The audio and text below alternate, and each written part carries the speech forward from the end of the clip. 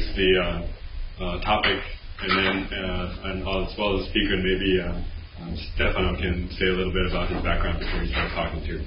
So um, the, there's this. Is there another room?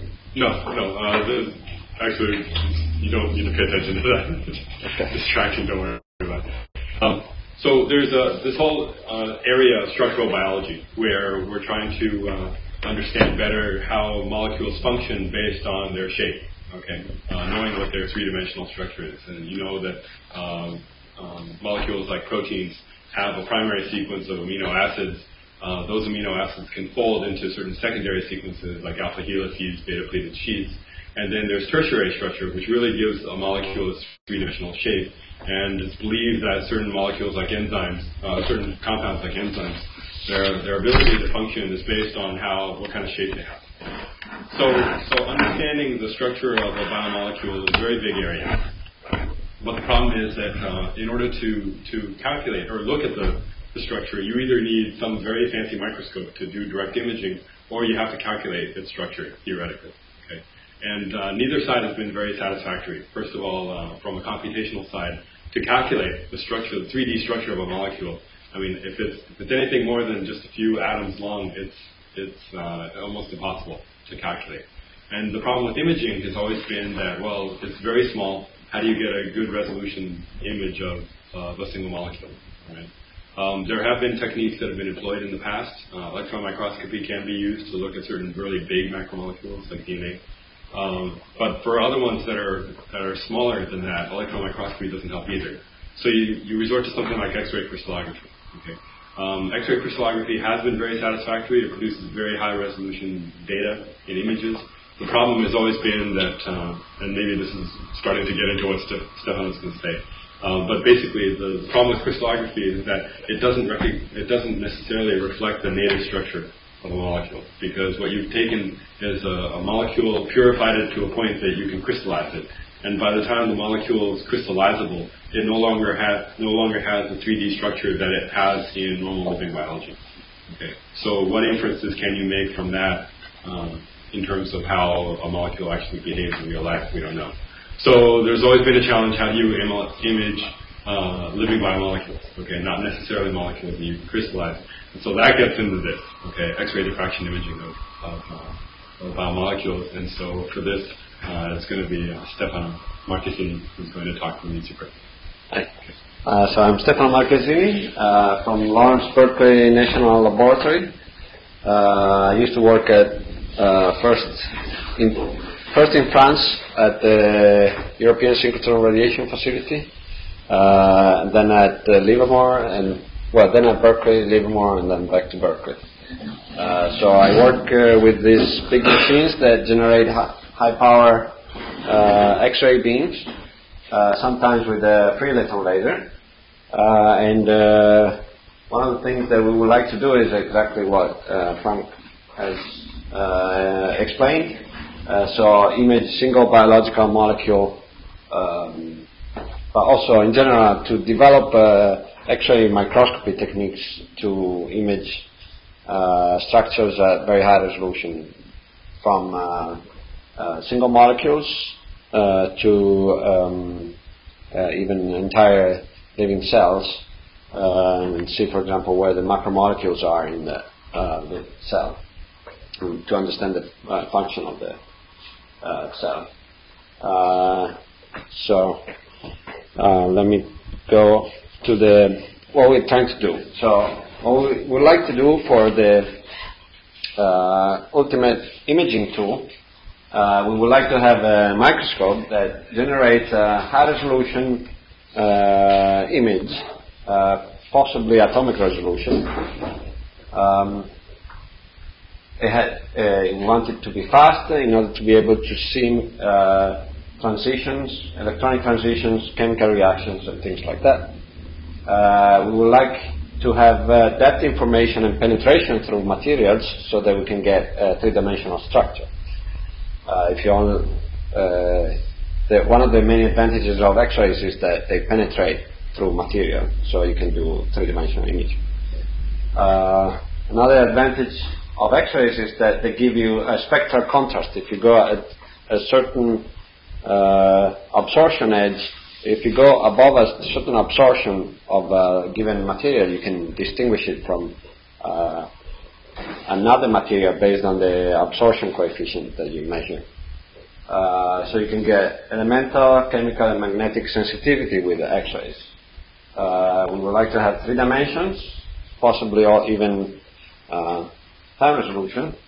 Uh, we would like, ideally, you want one of the limitations of microscopy is always the field of view. You can only image so many pixels, uh, depending on your camera, for example, and uh, non-destructive. Now, if you try to achieve all these at the same time, it's almost impossible. Uh, in particular, non-destructive and high resolution don't go well together. If you want to have very high resolution, you're going to damage your sample. Uh, you, are going to uh, give uh, energy is going to be deposited on the sample, and this is going to uh, create damage on the sample. It's going to break break the chemical bonds, and the sample will uh, fall apart. The current techniques that exist, uh, there is uh, electron microscopy uh, that can give you very high resolution. Can give atomic resolution. Uh, you can make very good lenses for electron microscopes, but they have several disadvantages. One is that it's slow, and two is that there is not much penetration, so you can't uh, look at thick objects. Uh, some advantages are that the cross section is very uh, strong, so the uh, brightness of the image uh, is quite good. Uh, light microscopes with visible light, they are good. They can be fast. They are off the shelf, but they are limited in resolution by the wavelength. the resolution of a microscope, even if you build the biggest possible lens, is always limited by the half of the wavelength at, at best. Uh, then you can do scanning micro, uh, scanning probes like a, tunneling scanning tunneling microscope or magnetic uh, force microscope or atomic force microscope, and that they give you very high resolution of two-dimensional surfaces. They are good for material science and surface analysis, but not so good for uh, biological applications. Uh, then there is X-ray microscopy. Uh, X-ray microscopy what, so the advantage of X-rays is that they go through materials, uh, and they are not affected very much by materials. And this makes um, making a lens for X-rays uh, quite difficult. Uh, so you can make lenses; they do exist, uh, but uh, they are not very efficient. And on top of that, uh, there is always in any microscope there is a depth of field limitation. The microscope is only in focus over a, limited uh, distance. And uh, if you want to achieve very high resolution, you're going to be limited by the depth of field.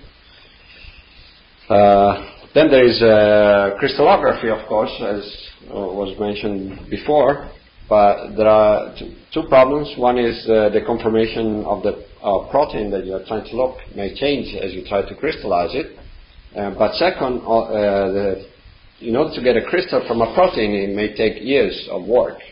If you have a membrane protein, for example, it's very difficult to crystallize, and people have spent uh, uh, 10 years to uh, crystallize some of these uh, membrane proteins, and there are very few that have been um, uh, imaged by uh, X-ray crystallography. So, what are the um, reason why we uh, like X-rays. We use X-rays. Uh, as I said, first of all, X-rays go penetrate uh, through materials. In particular, they scatter weakly, and so you can approximate this, the interaction with your sample uh, as a single scattering. One X-ray is coming and it bounces off one atom. It doesn't bounce twice because the uh, efficiency of bounce of scattering off each atom is very low. So the efficiency of scattering uh, twice is extremely low. Uh, sh- they have short wavelength, which uh, avoids the limitation of visible light microscopy. Uh, so the resolution is not limited by the wavelength anymore, or at least uh, up to a point. uh, they have an important contrast mechanism depending on the absorption of a given material. Um, if you have, uh, say, carbon, you can go at the carbon edge, uh, and the carbon will absorb more than another atom, and so you can distinguish carbon from another atom. Uh, the interaction uh, is a scalar interaction, so you can treat it like an, uh, a particle with no polarization. Uh, polarization effects are not very important. So this makes the calculation or the simulation of the experiments more uh, simpler. The disadvantages are that X-rays are difficult to manipulate, so it's difficult to uh, make optics that are good enough to achieve atomic resolution or even 10 nanometer resolution.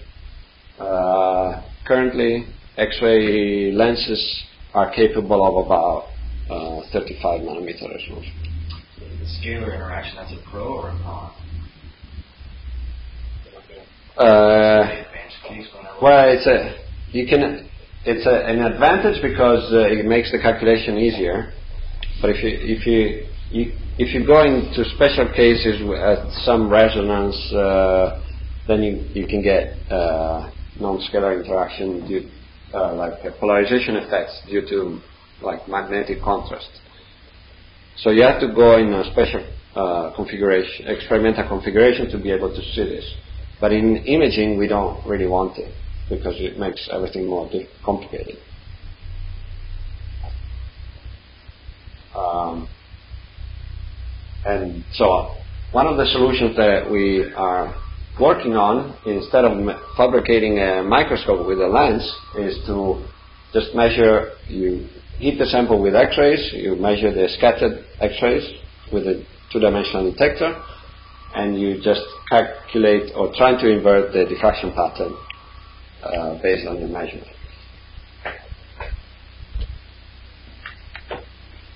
And um, repeating a little bit, uh, so in X-ray microscopy, this is an image obtained at the X-ray microscope at the Advanced Light Source uh, in Berkeley, at the Lawrence Berkeley lab. There's a uh, synchrotron radiation uh, accelerator that generates powerful X-rays. Uh, then there is a lens that images uh, a biological cell. You, you uh, rotate the cell to do a tomographic image, and you can get recover a three-dimensional structure of the cell. You can start begin to see some structures inside the cell, um, but the resolution is roughly uh, of the order of 50 nanometer, and uh, the, the big one of the big goals of, in this area is to uh, identify macromolecules, and uh, for that you need roughly 10 nanometer or less, 5 nanometer. Uh, I have a question about the lens. What type of what kind of lens is that that can still bend the light? It's uh, it's a Fresnel. It's called a Fresnel zone plate. Uh, so you approximate the phase shift um, a lens generates by discrete steps. And, and you do that, so you do grooves, concentric grooves of uh, material that creates a phase shift. Um, so the difficulty is in, if you want to make atomic resolution lenses, you have to fabricate atomic resolution, uh, have a precision of atomic resolution. X-ray microscopy, what's the principle behind image contrast? Uh, absorption. Absorption? absorption and uh, uh, yeah, primarily absorption. You can go out of focus a little bit and you get uh, phase contrast. So has this been done, successfully been done, or yes, it's also a technique that's in development? Yeah, yeah, it's a technique. Uh, it's actually there's a National Center for X-ray uh, microscopy at Berkeley that uh, started last year to produce uh, uh, large quantities of data. And so they look at biology, like cells? Cells, yes. They do kind of survey of cells. Okay, so what we're trying to do instead is more is simpler. Uh, you have uh, X-rays. Now, in our case, we use uh, coherent X-rays. So you have a plane wave, uh, as opposed to in incoherent light, you have light coming from all directions. In our case, we have only one direction, monochromatic uh, beam. It goes through the sample and diffracts on the CCD. Uh, this is what we call diffractive imaging. Uh, the main problem is that normally here you put a lens and you image your uh, your sample with a detector. Uh, in our case, we replace the lens with a computer. So we, from the diffraction pattern, we try to recover what the object looked like uh, based on the diffraction pattern. And typically, uh, we collect uh, a diffraction pattern of 1000 by 1000 pixels, and then rotate the sample to do tomography, and you end up with a large number of equations to solve. This is uh, uh, this inversion problem is uh, can be referred to as a phase retrieval problem. Uh, so the questions are uh, can we really do it? Can, what I'm going to show you is uh, can we image object without lenses just based on the computational methods? And then can we even image something as small as 10 nanometers using X-rays? Uh, one problem is that X-rays also damage your sample, so as you try to image it, it will get destroyed after some time. Uh, and then is there a way to go up beyond this limitation? So is, is the resolution of diffraction imaging based on the intensity of the beam or on the energy of the X-ray? The, the, the, so the second question, the, the, in the previous slide, right, you were saying what dose is required for, for example, 10 nanometer. Uh, I think we have enough. Dose, it sounds like how much energy do you need to deliver? Yes, right? we we have enough uh, photons, uh, but uh, the limitation is radiation damage. The sample, especially small features like a um, macromolecule is damaged uh, quickly. And so, uh, in order to achieve about 10 nanometer resolution, uh, you need something of the order. The dose on the sample is equivalent of being a meter away from the Hiroshima bomb. So, yes. So you need to protect the sample with a. You freeze the sample so that it doesn't fall apart. So there was one more question. I didn't know if you were going to get into this, but the issue about water. Uh, something that you like. If you have water in your sample, you image through that? Does the X-ray pass through that? Or yes, there is a contrast between. Water? Yes, you image through uh, water, not a thick layer. A thin layer of water. Uh, it, there is a window between the carbon edge and the oxygen edge uh, that allows you to give uh, high contrast uh,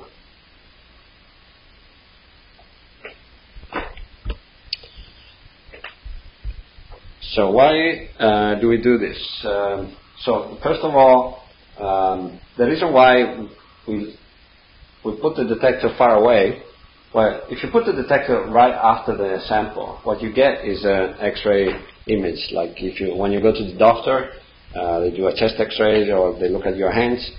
Uh, this was the first X-ray image done by uh, Röntgen.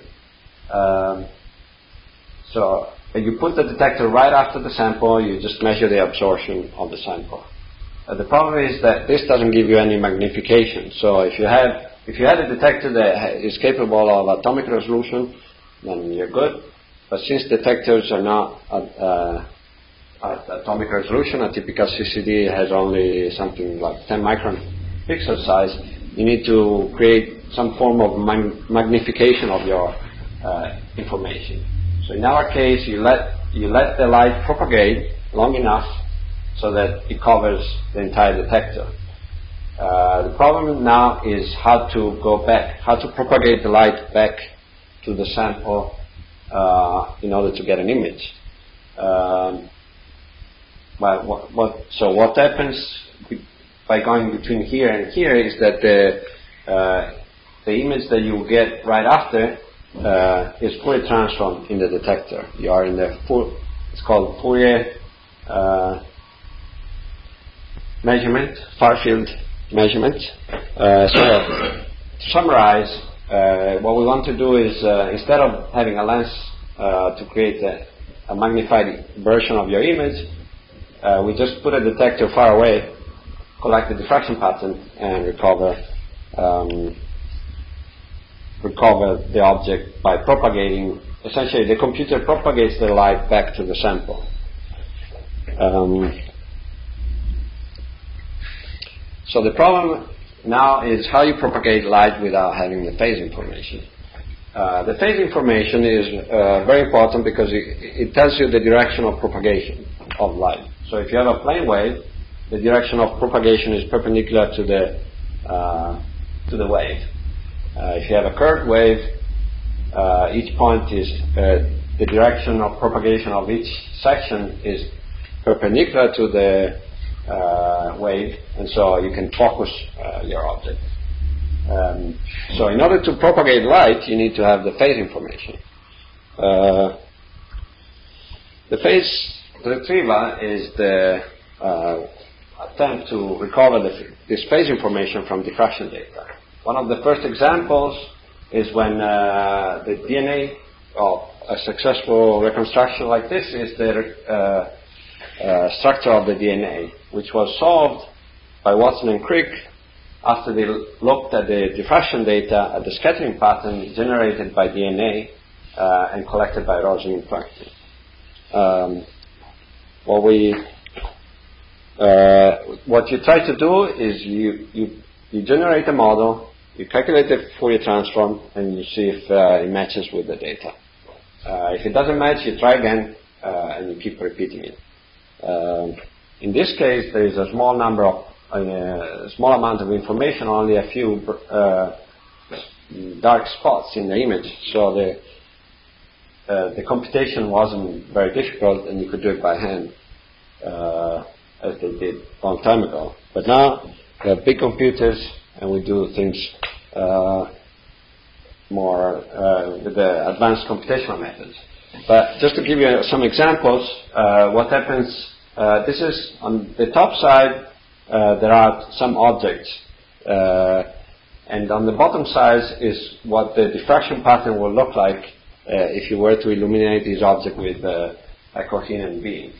So what you have is if you have if your object is small in one direction and large in the other direction, uh, in Fourier uh, space, in the measurement space, which is also called uh, reciprocal space, all the dimensions are inverted. So a small section uh, in the vertical direction becomes a large line in the uh, a long line in the vertical direction, and something large in the horizontal becomes thin in the vertical in the horizontal. Uh, some symmetries are preserved. For example, if you have a circular symmetry, uh, this is preserved. Uh, if you have um, a triangular symmetry, you get actually the symmetry doubles. You get uh, something that is has the same symmetry as this object, plus its center symmetry. Uh, and then uh, this is the classical uh, slit two pinhole interferometer or Young's interferometer. So if you have just two bright points and you Fourier transform those, you get a fringe pattern like this, an interferometric pattern like this. So depending, if you look at these things, uh, you train yourself uh, after a while to get, to get uh, try to recover what the object uh, looked like. Uh, now, com- all this type of information is used by computi- computational methods to do this more or less automatically. one of the reasons why we like uh, these type of techniques with, uh, that use X-rays is that first of all there is a large number of X-rays. Uh, in the past uh, 20 or so years, there's been a big development in the uh, light sources for X-rays.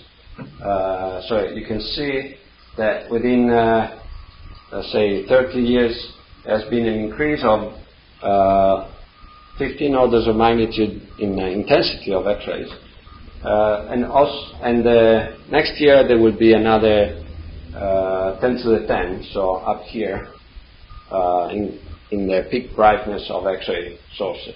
So there are a lot of X-ray sources uh, to use, uh, and there is a lot of uh, proteins, structures, and biological cells, and a large number of materials that we would like to image, including, for example, uh, particles that come from the stardust, uh, from the sky, um, uh, particles that are collected in space.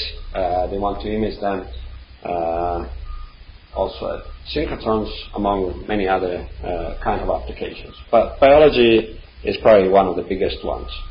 Uh, just to show you the number of crystal structures that have been solved, this is also growing very fast, and this is thanks in part by the fact that there's more and more uh, X-rays available, more and more uh, powerful X-rays.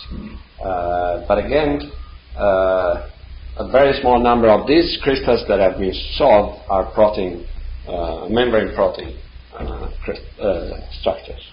So there's always need for developing better techniques that uh, can give you an image from different types of uh, samples. In particular, proteins that cannot be crystallized.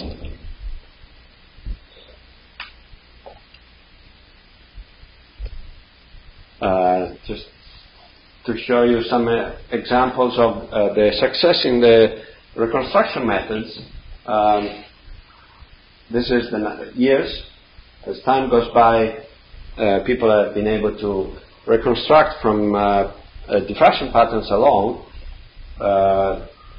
uh, the structures of a lot of proteins. Um, first, the simple molecules like salt, and then all the way up to the ribosome a few years ago. Uh, what we are doing it is also trying to image an entire cell uh, by these techniques, but the cell cannot be repeated. It cannot be replicated like in a crystal where you have the same protein replicated many times. So you can only collect uh, a certain number of uh, amount of X-rays before you destroy your cell. And this was one of the first examples of a reconstructed cell, uh, just based on the uh, diffraction pattern. You can see some contrast here uh, of the inside the cell. Uh, this is just a repeat. Uh, so we, we do this operation of trying to guess what the sample is and make it match to the uh, data by repeating.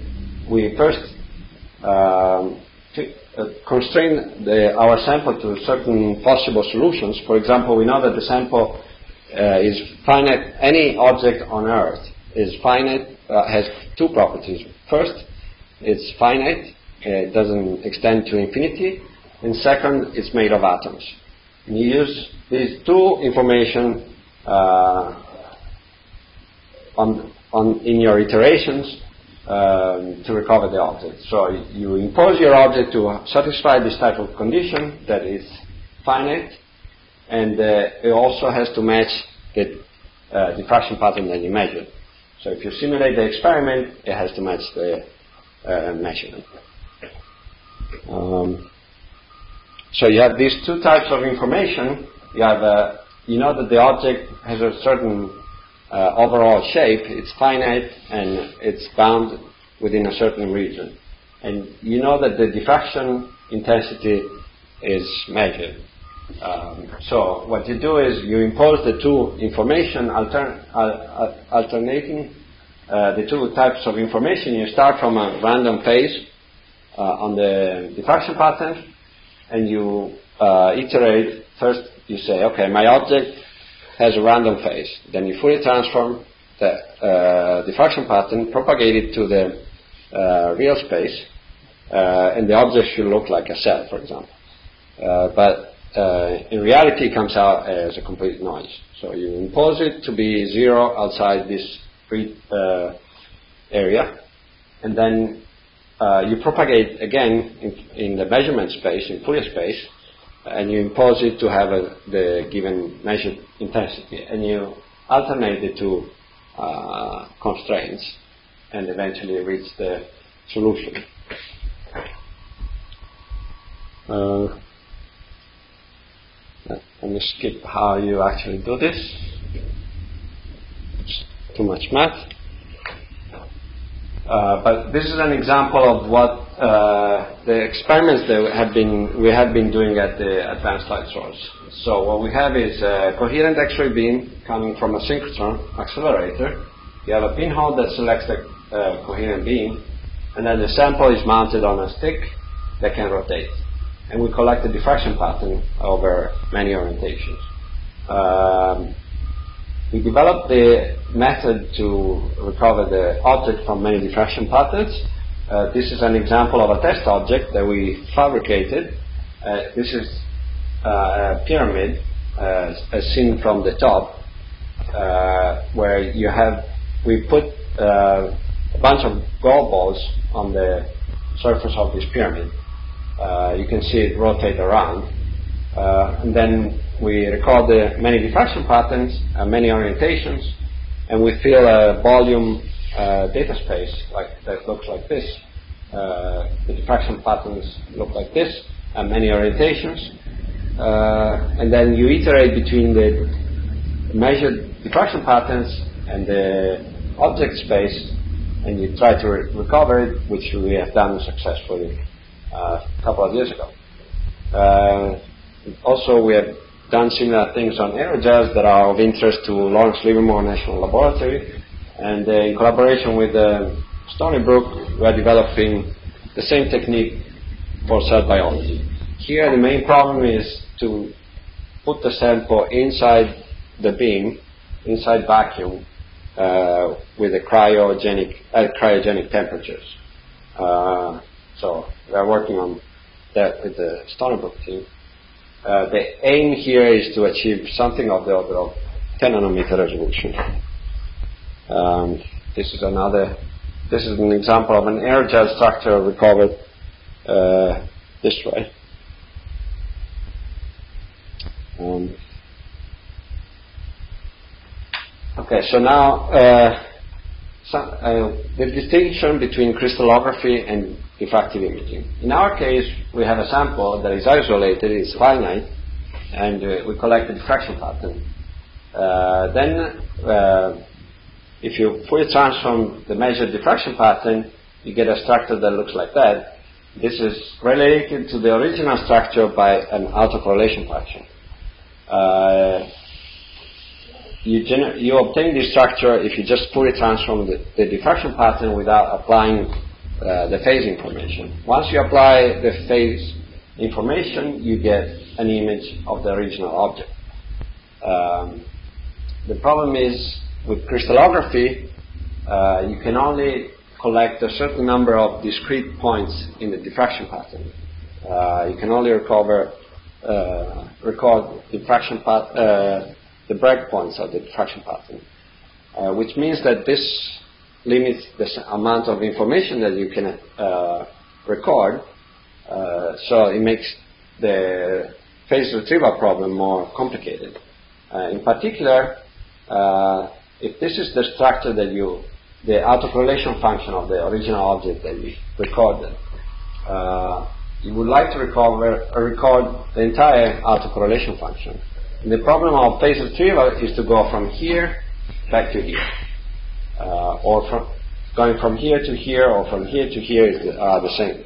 Is the com- same computational problem. Uh, but if you start to reduce the amount of sampling that you collect uh, in a diffraction pattern, uh, then what happens is that you get aliasing of the measurement. And so what happens is, if you look here, you can see what happens as you reduce the sampling uh, you get the unit cell that uh, first is surrounded by empty space, so it satisfies the condition that uh, you have a support and you can iterate back and forth that way. Uh, and it starts to overlap after as you go to the Bragg condition, to the crystallographic measurement condition, uh, where you can only measure a limited number of points. Okay, more on the autocorrelation. The, the way you calculate the autocorrelation for a given object, this is an object that looks like a Y, uh, is that you, you move the object around and you integrate the overlapping regions uh, for each uh, translation between the object and its own copy. uh, a copy of itself. Uh, so here is you can see how the uh, autocorrelation is being calculated. You, you translate the object back and forth and integrate over the, you multiply the two regions and uh, obtain this information. Now, how you go back from here to here, that's the phase retrieval problem. Uh, you can do tricks to make it easier, uh, to make the phase retrieval problem easier. Uh, for example, you can put a point in near the object. When you collect, when you measure the diffraction pattern uh, that you transform into an autocorrelation function by a simple uh, Fourier transform, you get the autocorrelation of the object. If the object contains a point here, uh, the autocorrelation will have a correlation between the point and the object that you're trying to use. Uh, so what you see here in the autocorrelation function, simply by putting a, sim- a simple point on the uh, membrane, is a is a uh, hologram of the object, uh, an, an, exact copy of the object that is what we call hologram. This particular type of measurement is called Fourier transform holography. Uh, so what you do here is a test. Uh, we like to use test objects uh, rather than biological cells because they, they are difficult to manipulate. So this is a test object. It's a, a micro the shell uh, of a microorganism uh, made of calcium carbonate so it has high contrast.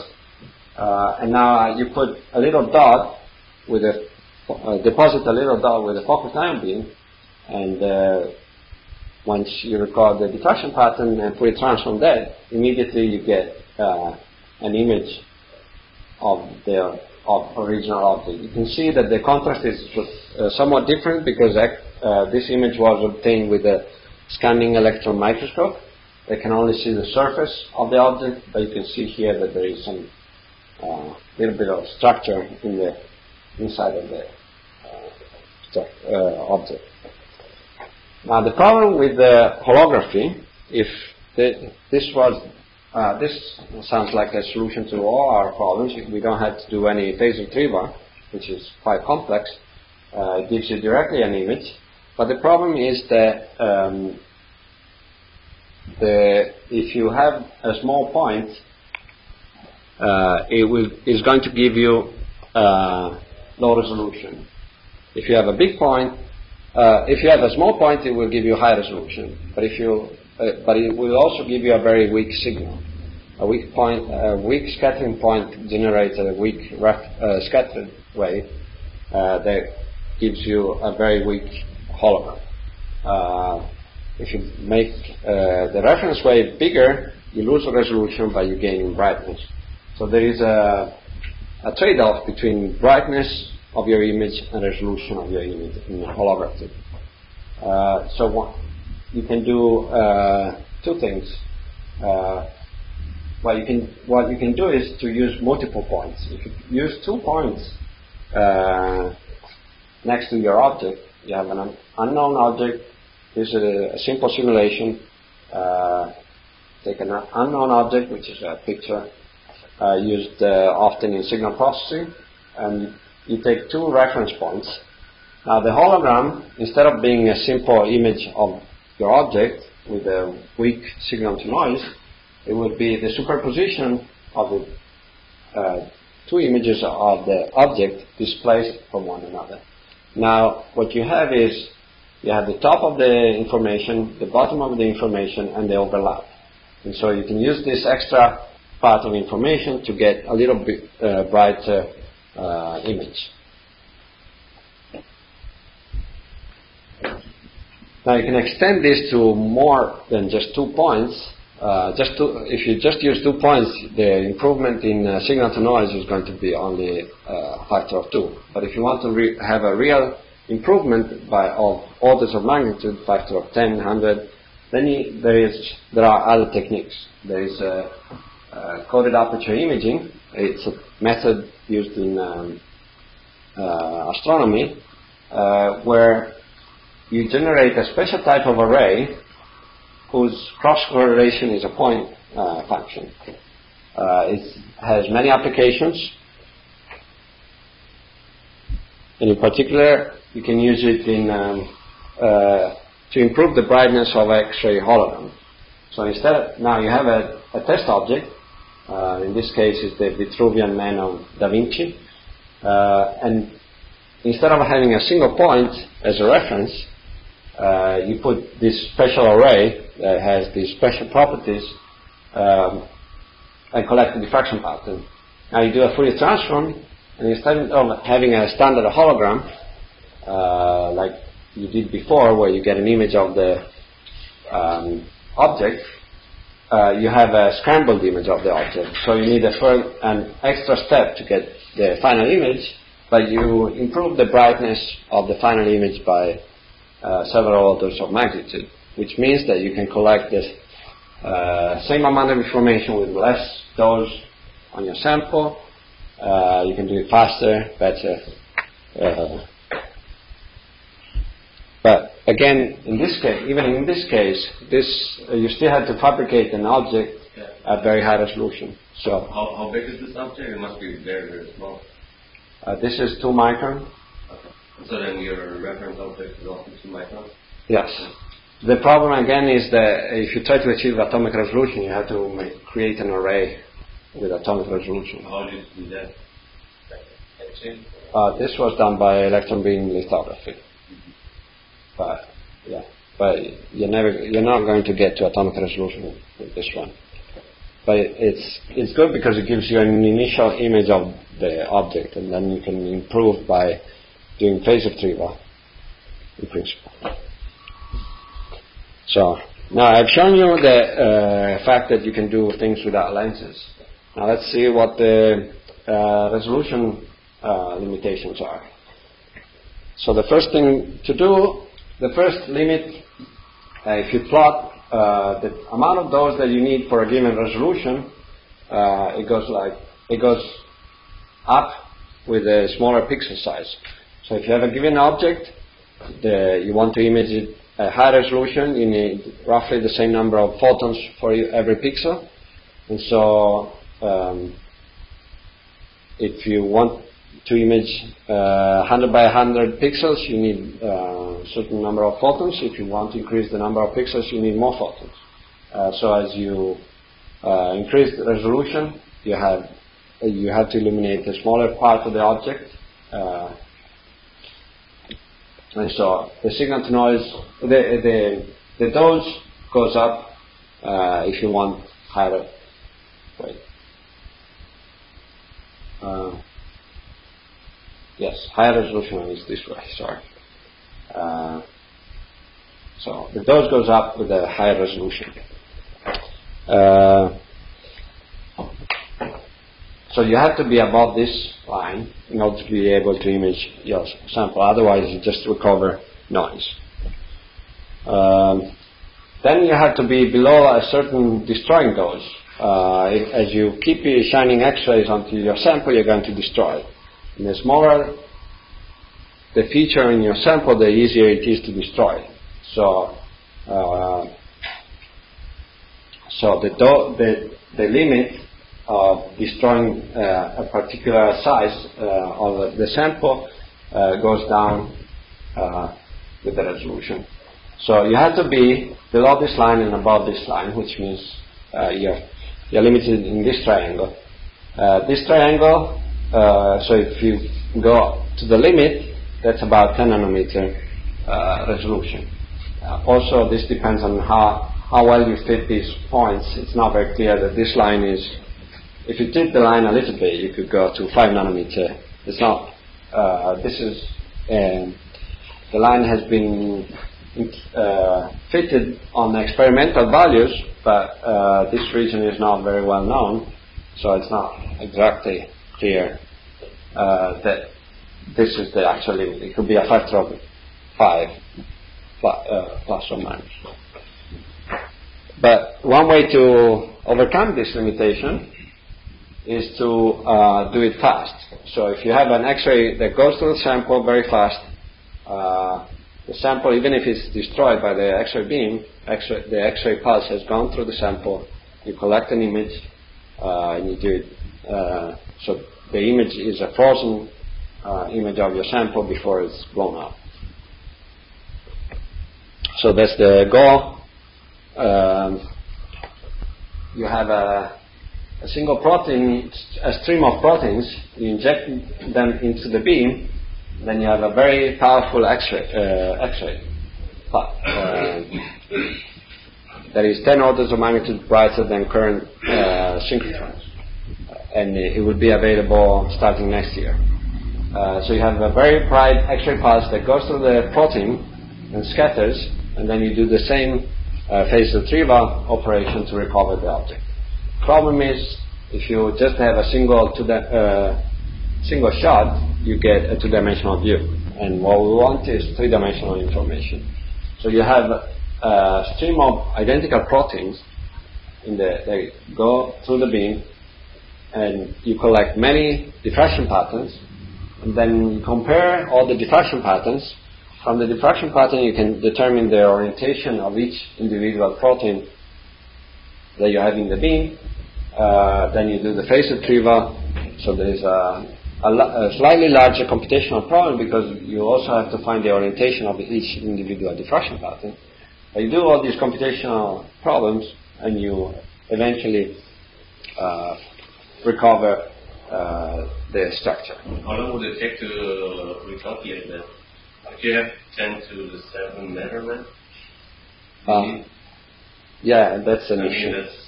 There are, there is an, so this is a, like a grand challenge. Okay. A lot of people are trying to work out various solutions. So one is how do you generate an X-ray pulse that is 10 femtosecond long? How do you generate a stream of particles and focus them and make them collide into the same region? and you want the particles to be identical uh, with a thin water jacket so that they don't get uh, um, they don't change conformation with the native state. Uh, and then you need a fast detector that can collect uh, thousands of diffraction patterns. Uh, and then finally, computational problem is quite challenging. Uh, there was a recent there was a recent paper just published in Nature Physics where they, they sidestep this part of the calculation and they show that uh, you can do this, uh, if you can do this uh, without uh, doing part of the calculation, uh, you can imp- improve the signal to noise uh, and require less measurements or less photons in the diffraction pattern. so it's an active field of development. Uh, let me give you some basic of how you generate these X-ray sources. Uh, you have um, the way we get uh, powerful these powerful X-rays is uh, by sending an electron beam, which is uh, accelerated in a, a particle accelerator to relativistic energies, and you send it into an electromagnetic field. If you have an electron beam, an electron, and you change its um, if uh, you accelerate it in some direction, this is going to emit electromagnetic radiation. If you move it up and down, it's going to, uh, it's like an antenna. You generate the radio frequency. Uh, but if the if the electron is going at relativistic energies, uh, what uh, in its own field it doesn't move very fast. But it, from your perspective, when you do the experiment, it, uh, the the electromagnetic field is uh, shifted to X-rays. This is called Doppler shift. It's like when an ambulance comes toward you, the pitch sounds uh, uh, higher frequency because it's coming toward you. In this case, the electron is going at uh, relativistic energy, and so the radiation that it emits is transformed to X-rays. Uh, now, what you do with a free electron laser uh, is that you want this radiation that is now coming out uh, as a spontaneous emission from each individual electron in the storage ring. Um, you want it to all come at the same time simultaneously with the same phase. And to do this, uh, you let you you take a you take a, a lot of uh, electron electrons in the beam, you pack them together and send them into the same uh, type of uh, um, magnetic field where it uh, forms a, a, trajectory and emits X-rays. But now, since you have a lot, uh, you're going to have a lot of light that travels together with the um, electrons, and these two uh, interact with each other, and the light at some point stimulate the emission of uh, the electrons inside this magnetic field, and so it becomes uh, stimulated emission, and uh, you gain 10 orders, of, 10 orders of magnitude in, in peak intensity. But just to show you, this is where we are now. Type of you have uh, the peak brightness, uh, which is a measure of how many photons of uh, important of a given important qualities that is uh, spectral bandwidth and uh, area and collimation, things like that. This is how much we have right now, and this is how much we will have uh, in about a year. So there is a jump, a big jump, but so far we haven't been able to use this because it's not available yet. But there is uh, something that was available in the past couple of years. It's a, short, a lower wavelength um, how long? Do how long is my talk? Until you have until three o'clock, but um, however, however much material you have. Yep. Well, uh, right. That clock's wrong though. Back there, just so you know. Huh? That clock's wrong, just so you know. Don't oh no, no, I, I put a battery in there. Oh, yeah. Okay. Yeah, it's finally right. Okay. Well, you can stop me if you have questions. But so uh, there is a big jump in the number of uh, available photons um, that will happen soon. And there is some uh, light source already available, which is at the wrong wavelength. It's a, a wavelength that is sufficient to achieve uh, some 10 nanometer resolution, not yet uh, atomic resolution. But you can do tests uh, with this type of source. For example, you can test the idea that you can image things before they blow up or you can test uh, other high intensity X-ray beam sample interaction. The, the accelerator, this accelerator that will be operational uh, in a bit is um, at Stanford, Stanford Linear Collider.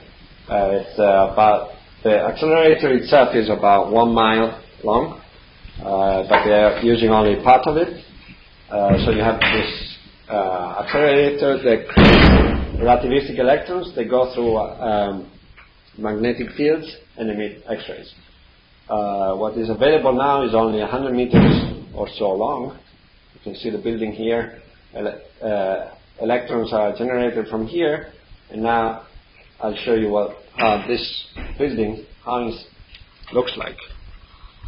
This is a picture of inside the building there are all these, uh, there is a X-ray beam that comes out of one of these pipes. They put a mirror to deflect the beam onto one of the pipes, and then uh, you do your experiment at the end.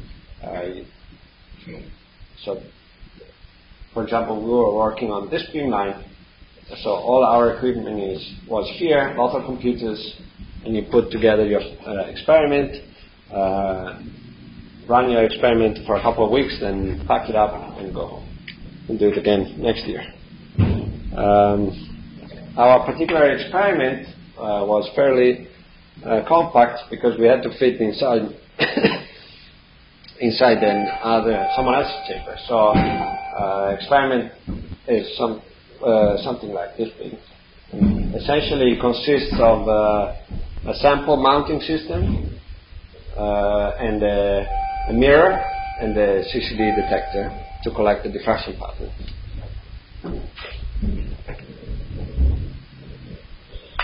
Um, so we have um, uh, our first experiment consisted in just measure, showing that we could measure things bef- uh, so fast that even if they blow up, our image was a frozen uh, picture of the object before this happened. Uh, so our object was uh, something that looked like this two little guys with the sun Uh, we also used other um, objects, gratings, and various types of test patterns. Uh, so the experiment is fairly simple con- conceptually. You have an X-ray beam that hits the sample. There's a mirror, uh, special mirror made especially for X-rays, uh, that reflects the light scattered off onto a detector, uh, and this avoids the problem of uh, the, the, the mirror has a hole so that you don't blow up the mirror. These are very powerful X-rays. If you if we were to put the detector there, it would just blow, uh, create a hole in the detector, and then it wouldn't work. So that's why we did it. And you can see here an example of this particular test object. Uh, we used a wavelength of uh, uh, 32 nanometers, so it's not enough to give you a resolution uh, of the order of atomic resolution to, uh, yet, but it's a proof of principle of the fact that you can image things before they go out. So this is the diffraction pattern that we collected in a, in a single shot. Uh, the X-ray pulse is uh, 15 femtoseconds long. Uh, if, you, if you want uh, some uh, comparison of timing, 0.1 femtosecond is the time an electron travels around uh, the hydrogen atom in a, in a classical uh, atom model. Uh, chemical reaction, electronic reactions happen in uh, tens of femtoseconds, chemical reactions in uh, hundreds of femtoseconds to picoseconds. Uh, so this is a really frozen image of how the object uh, looked like, even if the resolution is not enough to see uh, that you've frozen all the vibrations, anything that was ha- happening in the sample. Uh, the second shot, we collected a diffraction pattern from the same sample a second time, and it looks like this, very different from the original one, uh, which shows that the sample was completely destroyed. The reconstructed image here shows compares well with the um, image obtained with the scanning electron microscope. Uh, so far, uh, when we do these test experiments or uh, we prove uh, new types of experiments, we always use a sample that we already know how it looks like to see if we can recover it. Well, what's the sample made of? It's a thin membrane of silicon nitride, uh, and we drill the holes with a focused ion beam. It's just a test pattern, and this is one micron. Um, so after the after two shots, the sample looks like this. This is this um, a window, and here normally there is a silicon nitride. And before we around here we asked the um, a structure like this, and after two shots on the sample, the whole membrane is vaporized this is going to happen. The sample heats up to about uh, 60,000 degrees Kelvin. Uh, generates plasma, so the sample is completely vaporized. Uh, this would happen also to proteins. Uh, but if you have many, you can still do the experiment.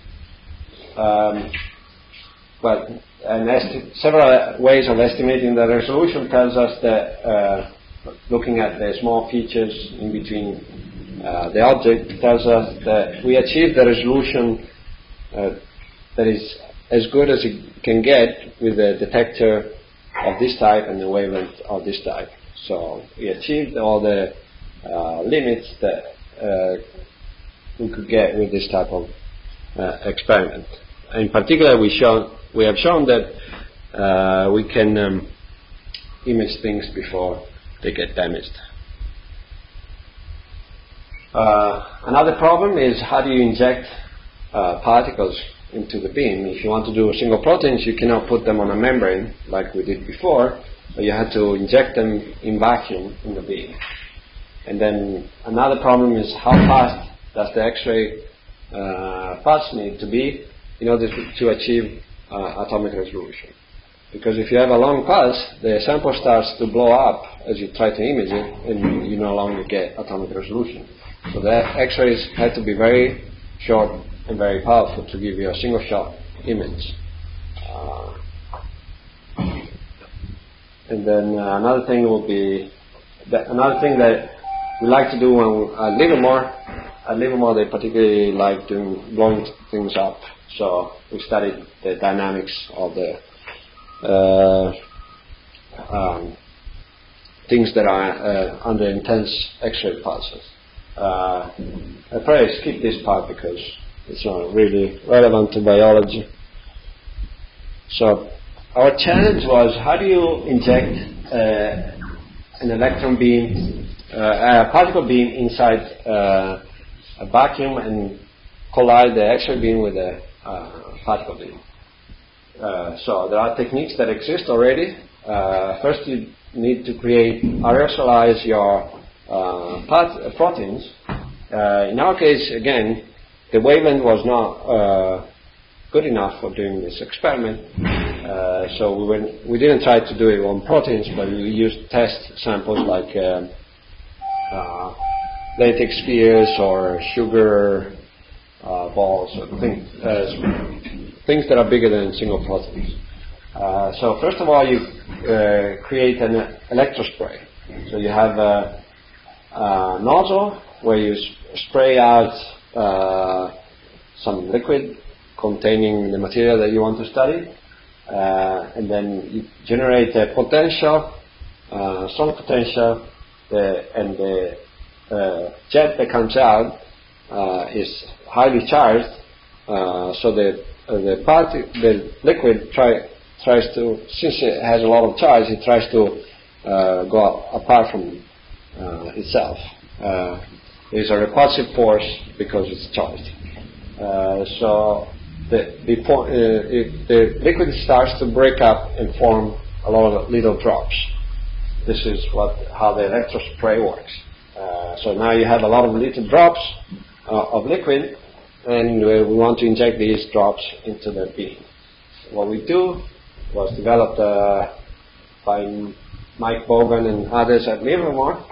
Um, is this uh, system of um, essentially it's a, a series of concentric holes with different pressure levels between them that creates a flow of air uh, that it gets sucked in into vacuum, uh, starting from atmospheric pressure, where you have this original uh, uh spray uh, spray uh, stuff of containing potentially molecules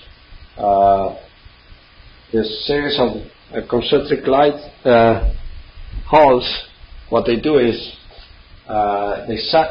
This is the, a slide view of that um, device that I showed. Uh, so you have these holes one after the other, and air being sucked into vacuum.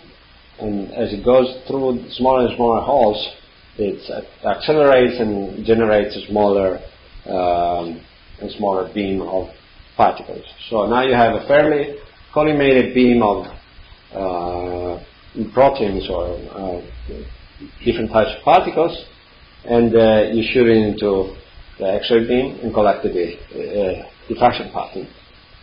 Uh, another thing that we could do is uh, use a differential mobility analyzer, which is essentially just a tube with a electric uh, fields that uh, accelerate these particles, these drops inside uh, the tube.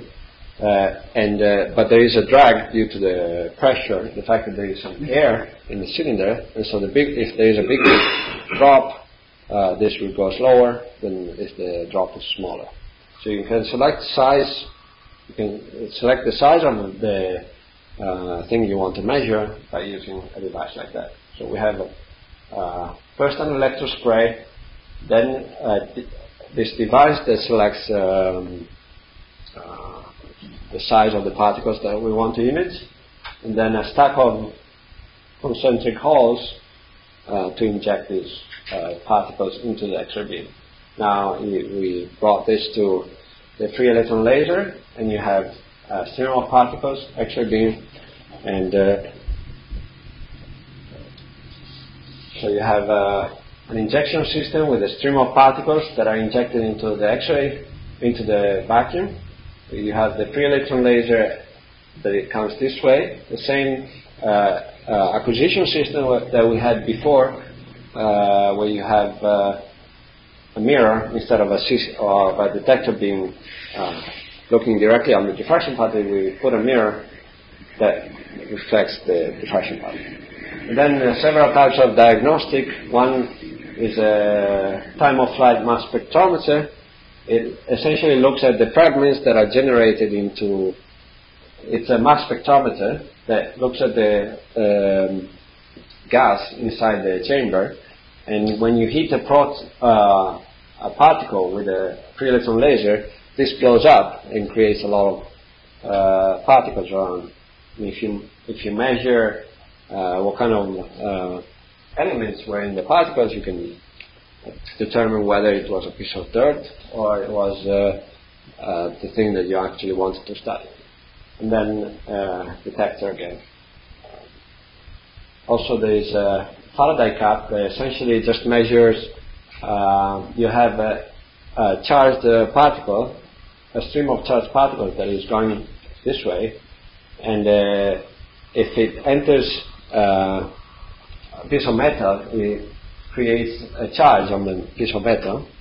Uh, creates a mirror charge on the piece of metal, and you can de- measure that to determine whether uh, there was a particle that went through or not. So we have all these diagnostic tools.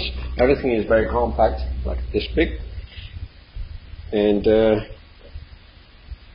we brought it to the free electron laser and shot uh, several particles, and you can see this. In particular case, these were sugar balls, uh, mixed uh, sugar uh, and other things.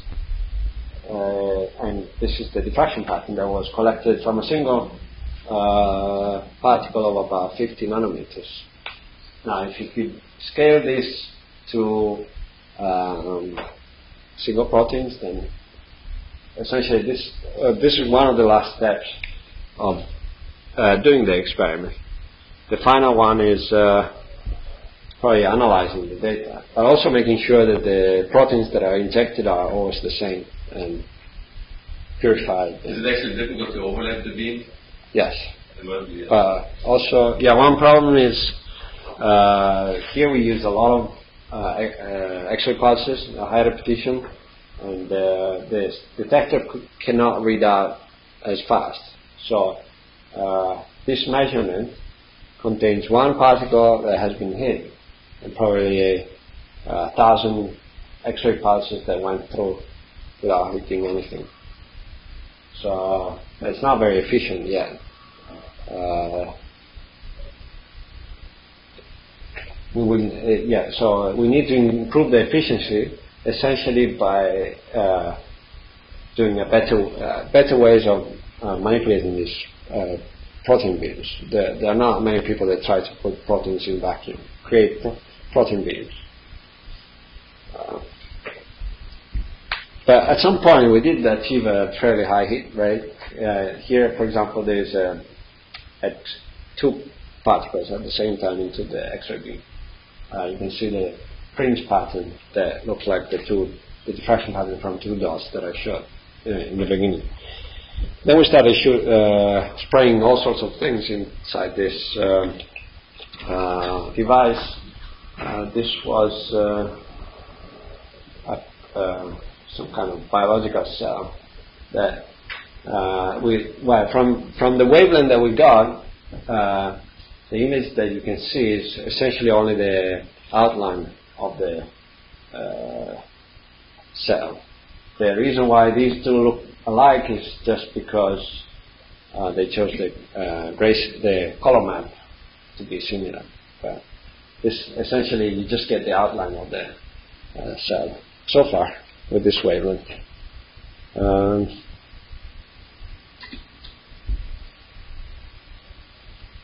for the okay. So the last uh, part is how fast the how fast do you need to do the measurement before the, uh, so that we can achieve atomic resolution? Uh, so what happens if you have a, a, a protein? Uh, physicists like to approximate things as a ball. So uh, assume a protein is a ball.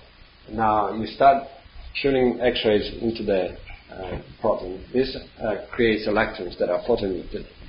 Uh, and so the particle, the ball starts to be charged. It, create, it emits a lot of photoelectrons, starts to be charged, and the atoms or the ions inside the ball starts to are uh, start to blow up from the molecule. First, the top layer, if you look at cross section, within about 10 femtoseconds or 20 femtoseconds, uh, the molecule starts to blow up. Um, so the measurement should be about this long. Uh, now, if you can put a, a, layer of water that blows up and it doesn't really matter to your imaging, uh, that would be good. It could, if you put, if you make it long, big enough, it could extend your time, the time uh, with, that you can use to to, to image the uh, protein. Uh, but it has to be extremely short, something of the order of uh, 20 to 40 uh, femtoseconds. Right now, the free electron laser uh, specifications is about a factor of 10 uh, too long, or about a factor of 5 too long. So it's not clear that we can do it, uh, this thing uh, at atomic resolution as soon as the beam turns on. It would take several years.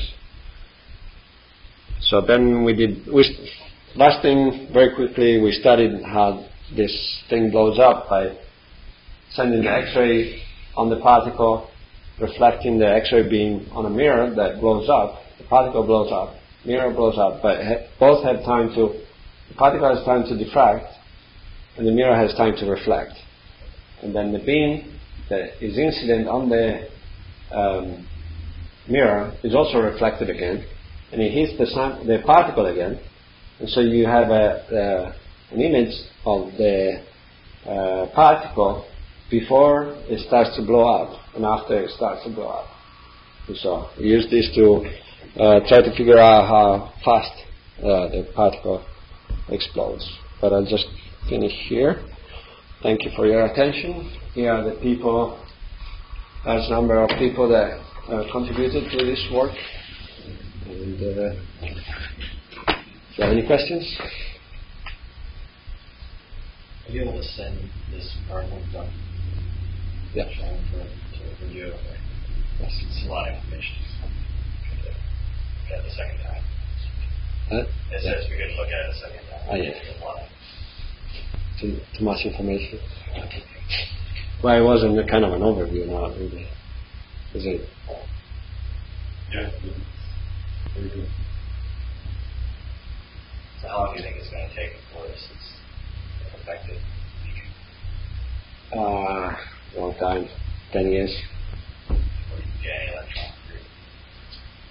Before you can well, atomic resolution, but we will start probably with the easier things like maybe nanocrystals that are too small for um, or uh, but I think, for example, one thing, imaging ce- cells at very high resolution that should be feasible in the short shorter time scale.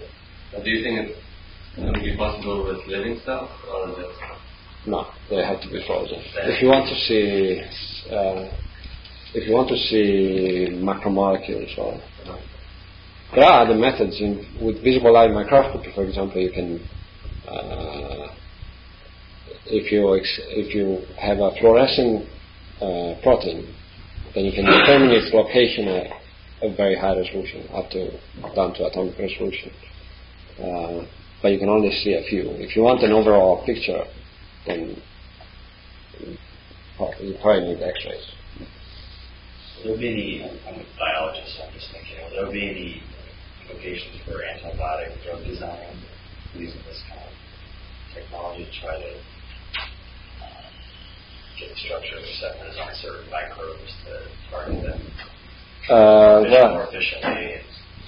well, well, the biggest uh, problem for um, crystallography is membrane proteins, and these only uh, nine, uh, very small number, like 10, has been solved. And these are a key to any drug delivery system. That's all. I'm not a bio- biologist. Not so much about the antibiotic design, but I know that uh, one of the researchers in Australia, Leanne Tilley, had come with uh, red blood cells that contained the malaria parasite. And I thought that she was using the, the ALS to do some imaging there of, uh, of the parasite inside the red cells. Do you know Uh, about that? Oh, who is this? Leanne Tilley? I know someone did look at a malaria-infected Right. Red blood cells with the not with the free electron laser, but with the coherent diffractive imaging.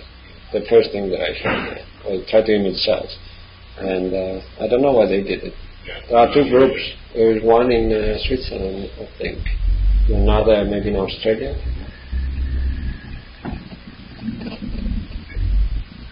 So, Stefano, thank you very much for your time.